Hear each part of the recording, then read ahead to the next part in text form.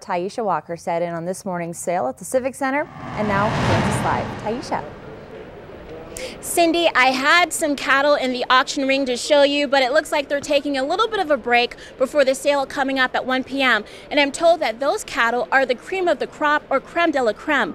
And sellers are here to show off their superior animals while buyers are here to get their pick of the bloodlines. And with current market prices, the feed the prices for cattle paid is expected to be a little bit high this year.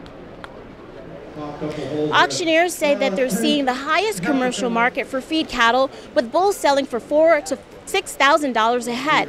The calves have been bringing in anywhere from eight hundred and fifty dollars to twelve hundred dollars a head. And whether buyers are looking for bulls or heifers, or performance cattle or ones by weight, auctioneers say there's something for everyone here at the Angus Show. You know, we're in a in western South Dakota, and we're serving one of the nation's best plots to raise good cattle. I mean, I, am pretty proud. I'm a commercial auctioneer, and we're selling some of the finest feeder cattle in the world. I haven't seen anything that I like yet, but the day's not over neither. And the potential buyers here tell me that the cattle crop looks excellent, but they still haven't seen anything that they're ready to purchase just yet. And whether it's the price or whether it's the physical appearance of the animal, we're not sure yet, but we'll find out coming up at 1 when the sale begins. Cindy?